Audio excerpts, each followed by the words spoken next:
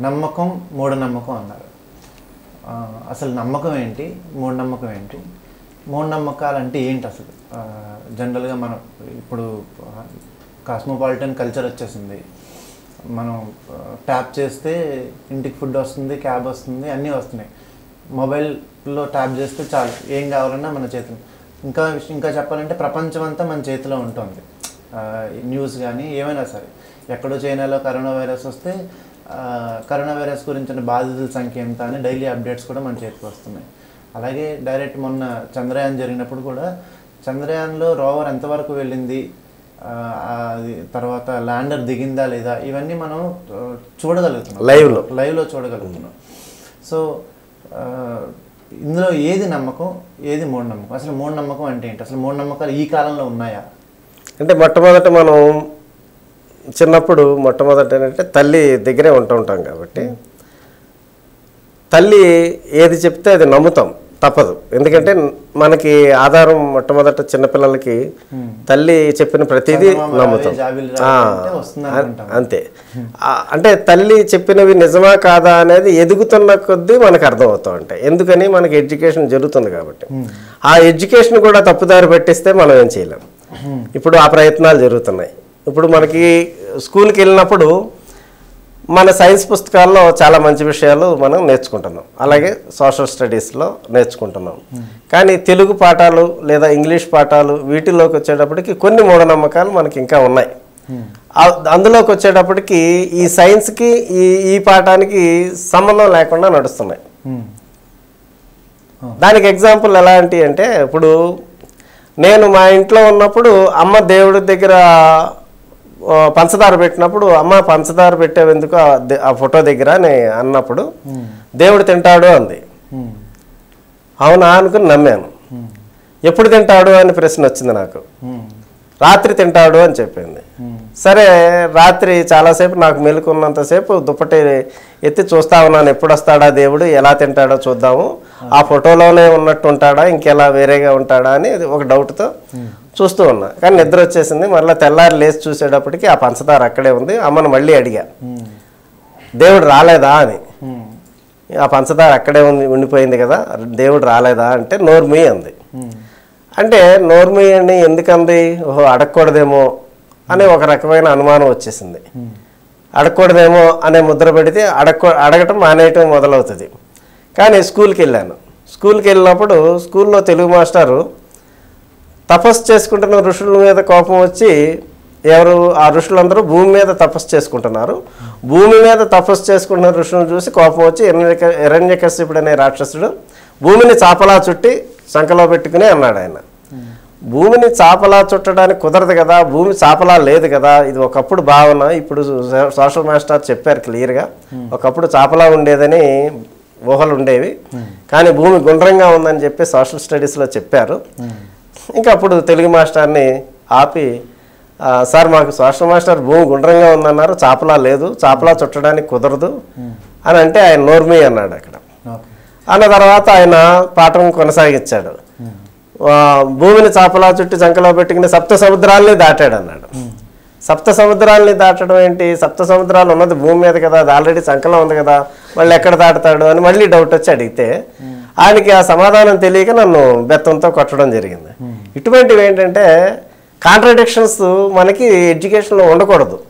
అది భావ భావం కోసం పద్యాలు రాసినా పిల్లవాడిని కన్ఫ్యూజ్ చేసేలాగా ఉండకూడదు. అదే, అందుకని ఏంటంటే అది తెలుగు లిటరేచర్ అయినా ఇంగ్లీష్ లిటరేచర్ అయినా సైంటిఫిక్గా మారాల్సిందే.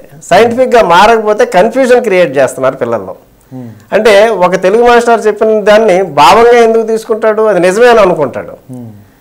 నువ్వు బంగారు గొడ్డలు వచ్చింది లేకపోతే ఇంకోటి వచ్చింది అని చెప్పినప్పుడు నిజంగా అలా వస్తాయా రావా అనేది కూడా ఉండాలి. అవి రావు అని. ఇప్పుడు సిగరెట్ తాగితే హానికరం అని చెప్పి మద్యం తాగితే హానికరం అని ఏ విధంగా స్లోగన్స్ మనం ఇస్తున్నామో పిల్లవాడి మైండ్లో కూడా నువ్వు తప్పుడు సంకేతాలు ఇస్తున్న పద్యాలు కానీ ఏమన్నా మనం చెప్పాలి చెప్పాల్సి వచ్చినప్పుడు ఇక అంతకంటే లేవు మనకి ఇవే చెప్పాల్సి వచ్చినప్పుడు ఆ కింద క్యాప్షన్ ఉండాలి. ఇటువంటి ఇవి ఇవి కేవలం మూఢనమ్మకాలు దీనిని నమ్మాల్సిన అవసరం లేదు. ఇటువంటి పద్యంలో ఉన్న భావన నిజం నిజం కాదు అని కింద రాయాలి. లేకపోతే పిల్లలు కన్ఫ్యూజ్ అయిపోతారు. ఆ కన్ఫ్యూజన్లో మనం ఉంచకూడదు. అంటే వీళ్ళలో శాస్త్రీయ దృక్పథం అనేది పెంచాలి అనుకున్నప్పుడు వీళ్ళు సరైన ఎదుగుదల వీళ్ళ బ్రెయిన్స్లో అంటే వీళ్ళ మెదడులో సరైన ఆలోచన కలిగించాలంటే తెలుగు పాఠానికి సైన్స్ పాఠానికి పొంతన ఉండాలి. అక్కడ ఒకటి ఇక్కడ ఒకటి జరిగినప్పుడు అదే ఇది ఇదే అన్నవాడు తయారవుతాడు. అప్పుడు ఏమవుతుంది?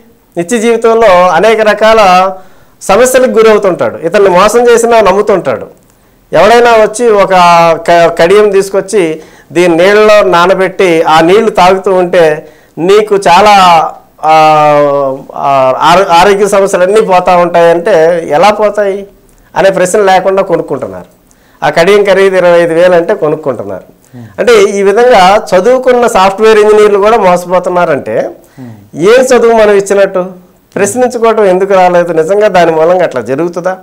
అలాగే రైస్ పుల్లింగ్ తోటి కోట్లాది రూపాయలు మోసం చేసి డాక్టర్లు కూడా ఆత్మహత్య చేసుకునే పరిస్థితికి తీసుకొచ్చారు. ఇటువంటి మోసాలు జరుగుతున్నప్పుడు ఎందుకు మీకు డాక్టర్గా నువ్వు చాలా కాలం ప్రాక్టీస్ చేసిన వాడివి మొత్తం కుటుంబం కుటుంబం కూడా సూసైడ్ చేసుకోవడానికి ఎందుకు దారితీసింది? నీకు ఎందుకు అర్థం కాలేదు రైస్ పుల్లింగ్ అనే దాంట్లో? అది మోసం అనేది నీకు ఎందుకు ప్రశ్నలు కలగలేదు? అంటే ఎందుకు అన్ని కోట్ల రూపాయలు నీకు ఎలా వచ్చేస్తాయి? అది ఇరిడియము నీ దగ్గర పెట్టుకుంటే. అందుకని ఏంటంటే పిల్లలకి పునాది చదువు దగ్గరే చాలా విషయాలు రావాలి. అది వచ్చిన తర్వాత ఏ తల్లి ఆ పిల్లలు ఎదిగిన తర్వాత నా తల్లి చెప్పినట్టుగా దేవుడు వచ్చి రాత్రి పంచదార తింటాడు ఇవన్నీ దేవుడే మనకి అన్నీ సృష్టించాడని చెప్పిన దేవుడికి మనం పంచదారను పాయసం పెట్టడం అనేది హాస్యాస్పదమైన విషయం. ఇటువంటివన్నీ కూడా ఇటువంటి క్రతువులు ఇటువంటి వాటికి మనం మాయలు లేవు మంత్రాలు లేవు అని చెప్పడంలో ఒక భావన. అంటే నమ్మకం మూఢనమ్మకం. నమ్మకం అనేది కొంత దూరం ఉంటుంది. నా తల్లిని కొంత దూరం నమ్ముతా. నాకు విషయం అర్థ- అర్థమైనప్పుడు ఆవిడ చిన్నప్పుడు చెవిలో ఆయిల్ పోసేది. చెవి బాగుండాలంటే అని. పెద్ద అయిన తర్వాత ఈఎన్టీ డాక్టర్ దగ్గరికి వెళ్ళినప్పుడు ఆయన చెవిలో నూనె పోయొద్దు. అది దాని మూలంగా ప్రమాదం ఉంది. బూజు పెట్టే అవకాశం ఉంది. చెవికి ఇన్ఫెక్షన్ వచ్చే అవకాశం ఉంది అని చెప్పాడు. అప్పుడు అమ్మ చెప్పింది ఏమవుతుంది? మూఢనమ్మకం అవుతుంది. చిన్నప్పుడు నాకు నమ్మకం అమ్మ. ఎందుకంటే నాకు అమ్మే ఉంది కూడా. ఆ నమ్మకం ఎప్పుడు విషయం తెలిసిన తర్వాత అది చేయకూడదు అని తెలిసిన తర్వాత మూఢనమ్మకం. ఒరే తుమ్మితే బయటికి వెళ్ళొద్దు అంది. తుమ్మితే బయటికి వెళ్ళొద్దు అంటే ఎందుకు వెళ్ళొద్దు అని అడిగితే ఏదో సమాధానం చెప్పారు. ఏం సమాధానం చెప్తారు వాళ్ళు పెద్దవాళ్ళు? అది ఒక సంకేతం అది నీకు చెడు జరుగుతుందని ఒక సంకేతం అని చెప్పారు. తర్వాత కొంతకాలానికి డాక్టర్ చెప్పాడు తుమ్ము ఎందుకు వస్తుంది అంటే అది నీకు మంచిది అది నీకు అన్వాంటెడ్ ఎలిమెంట్ని అది బయటికి పుష్ చేసేటప్పుడు వస్తుంది. కాబట్టి నీకు ఆ తుమ్ము రావటం అనేది మంచిది మంచి సంకేతం బాడీకి అంటే బాడీలో ఇమడని దాన్ని తోసేస్తుంది. తోసేసింది నీకు మంచిదైతే అది చెడు ఎందుకు అవుతుంది అనే విషయాన్ని ఒక నమ్మకాన్ని తర్వాత అది మూఢనమ్మకం అని తేలి తేలిన తర్వాత అమ్మకి మళ్ళీ నేను చెప్పాల్సి వస్తుంది. అంటే ఇటువంటి విషయాలు పెద్దవాళ్ళని గౌరవించడం అనేది గౌరవించటమే. కానీ విషయ జ్ఞానంలో మనం విచక్షణని అప్లై చేసినప్పుడు సైన్స్ తెలుసుకుంటూ ఉన్నప్పుడు వాటిని వీటికి అన్వయించుకుంటూ ఇది తప్ప ఇది కాదా అనే విషయాన్ని పరిశీలన చేసినప్పుడు అది నమ్మకమా మూఢనమ్మకమా సైన్సా మూఢనమ్మకమా అనే దగ్గరికి వెళ్ళిపోతుంది. నమ్మకం అనేది చాలా విషయాల్లో ఉంటుంది. భూమి గుండ్రంగా ఉందంటే చూడలేదు. కానీ చాలా ఫొటోస్ వచ్చినాయి కాబట్టి నమ్మకం. సైన్స్ అంటే ఒక ఇంటర్నేషనల్ స్టాండర్డ్స్ కొంతమంది పరిశీలించి మనకి చెప్తే ఆ బుక్స్ చదువుకుంటాం. ప్రతిదాన్ని మనం చూడం. ఎలక్ట్రాన్ అనే దాని గురించి చదివినప్పుడు ఎలక్ట్రాన్ని చూడటం అంటే మళ్ళీ ఆ పరిశోధన చేసే వాళ్ళకి అది ఈ విధంగా వస్తుంది. అట్లా ప్రతిదానికి ఏంటంటే కొంత నమ్మకం ఉంటుంది. తర్వాత దాని పరిశీలనలో విషయాలు అది అర్థం చేసుకున్న తర్వాత దాన్ని కాంట్రడిక్ట్ చేసే కొత్త సైంటిస్ట్ కూడా వస్తారు. అక్కడ మళ్ళీ ఏంటంటే అది డెవలప్మెంట్ ఆఫ్ సైన్స్లోకి వస్తుంది. పూర్తిగా కొన్ని విషయాలు పరిశోధించిన తర్వాత కూడా కొత్త విషయం వచ్చినప్పుడు దానికి క్వైట్ ఆపోజిట్ కూడా రావచ్చు.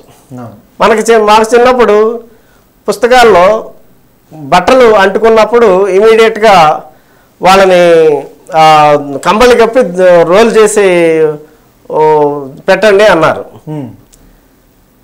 ఇప్పుడు ఏంటి దానికంటే ఎక్కువ డెవలప్మెంట్ ఏంటంటే అప్పుడు నీళ్ళు పోయొద్దు అన్నారు అప్పుడు. మీదగా మంటలు అంటుకుంటున్నప్పుడు మీదకి నీళ్ళు పోయొద్దని ఇప్పుడేంటి మీద నీళ్ళు పోసేయండి అంటున్నారు.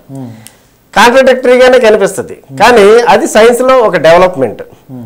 ఎందుకు డెవలప్మెంట్ అంటే శరీరం మీద ఆ దుప్పటితో చుట్టి మంటలు ఆర్పొచ్చు కానీ కానీ ఆ వేడి చర్మం లోపలికి డీప్గా వెళ్ళిపోతే ఇంకా చాలా ప్రమాదం జరుగుతుంది అనేది గుర్తించారు కాబట్టి ఆ మంటల వేడి లోపలికి వెళ్ళిపోతే చాలా డ్యామేజ్ జరుగుతుంది కాబట్టి వెంటనే ఆరిపోయేలాగా చల్లటి నీళ్ళ మీద పోసేస్తే ఆ వేడి పైన స్కిన్ మాత్రమే డ్యామేజ్ అవుతుంది. లోపల భాగాలన్నీ కూడా చాలా సేఫ్గా ఉంటాయి సురక్షితంగా ఉండటం అవసరం కాబట్టి మనం ఏంటంటే ఈ మంటల విషయంలో ఇవే మనకి ఏంటంటే చాలామంది ప్రజల్ని కన్ఫ్యూజ్ చేయడానికి సైన్సే దానికి దానికి దానికి దాని మీద దానికే నమ్మకం లేదని చెప్తా ఉంటారు. అందుకని సైన్స్లో వచ్చే పరిణామాలు ఏదైతే డెవలప్మెంట్ జరుగుతూ ఉందో అది డెవలప్మెంట్గానే చూడాలి. ఇంప్రూవ్మెంట్ అది.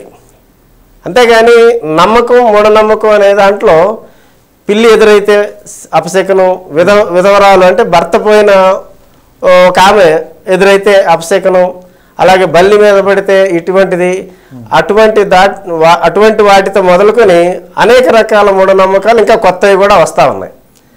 వైద్యంలో కూడా ఆరోగ్యం విషయంలో కూడా చాలా మూఢనమ్మకాలు వస్తూ ఉంటాయి.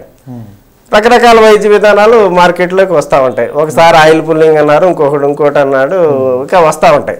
అది నిజమా కాదా అనేది చెప్పాల్సిన బాధ్యత ఆరోగ్య ఆరోగ్యం విషయంలో కానీ వైద్యం విషయంలో కానీ పరిశోధన చేస్తున్న వాళ్ళు బయట పెట్టిన తర్వాత అప్పుడు దాన్ని మూఢనమ్మకం కింద మనం చెప్తాం.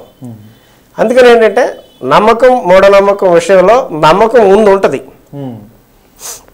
అది శాస్త్రీయంగా అది తప్ప రైటా? అది రైటా అనేది. ఈ రెండు విషయాలు తేలినప్పుడు నమ్మకం మూఢనమ్మకంగా మారుతుంది. అప్పుడు దాన్ని మనం ఏంటంటే ఇది నమ్మాల్సిన అవసరం లేదు. ఇప్పుడు చాలామంది పిల్ల ఎదురైతే మీరు బయటికి వెళ్తారా? అంటే ఇప్పుడు అలాంటివన్నీ ఎక్కడ ఉన్నాయండి? అలా విధవరాలు ఆ, మీ తల్లిగారే విధవరాలు ఆవిడ ఎదురైతే మీరు మొహం పొద్దున్నే మొహం చూస్తే ఏమైనా చెడు జరుగుతుందని మీకు ఫీలింగ్ ఉందా అంటే అబ్బాయి అసలు అట్లాంటివి లేదండి. ఈ రోజుల్లో అలాంటివి అంటే కొంత మార్పు జరిగింది. ఇంకా మార్పు చాలా జరగాలి. వస్తున్న మూఢనమ్మకాలు అనేకం వస్తానే ఉన్నాయి. కాబట్టి ఎప్పటికప్పుడు దాన్ని పరిశీలన చేసుకునే దానికి ఒక ఇన్స్ట్రుమెంట్ లాగా మనం ఇచ్చేది ఏంటంటే ప్రశ్నించే చైతన్యం శాస్త్రీయ దృక్పథం. వాటిని ఉపయోగించుకుంటే వాటిని ఉపయోగించుకున్నప్పుడు దానిని వెంటనే నమ్మేయాల్సిన అవసరం లేకుండా ఏ సంఘటన జరిగినా కనీసం ఆ సంఘటనకు సంబంధించి ఒక ఇరవై ఐదు ప్రశ్నలు వేసుకోవటం అనే అలవాటు రావాలి. పిల్లలకైనా పెద్దవాళ్ళకైనా. ఆ ప్రశ్నలు వేసుకున్నప్పుడు దాంట్లో డెప్త్ అర్థమవుతుంది. అసలు ప్రశ్నే వేసుకోకుండా ఉన్నది ఉన్నట్టుగా యాక్సెప్ట్ చేయడం మొదలు పెడితే ఈ రోజున న్యూస్ ఛానల్స్ కానీ న్యూస్ పేపర్స్ కానీ ఏది చెప్తే అది నమ్మేస్తే ఎట్లా? నువ్వు జడ్జ్ చేసుకోవడానికి ఏం చేయాలి? అన్నీ చూడాలి. అన్నిటిని ఇది కరెక్టా కాదా అని విశ్లేషణ చేసుకునే ఒక పద్ధతి నీకు అలవాటు కావాలి. అది శాస్త్రీయ పద్ధతి అంటాం మనం. ఏ నమ్మకాన్నైనా అనాలిసిస్ చేసి అది కరెక్టా కాదా చెక్ చేసుకుని ఒకవేళ కరెక్ట్ కాదు అంటే అది మూఢనమ్మకం అవుతుంది అని చెప్పారు. అండ్ అది ఒకవేళ కరెక్ట్ అయితే దాన్ని సైన్స్ ప్రాక్టీస్లోకి తీసుకురావచ్చు అని చెప్పారు.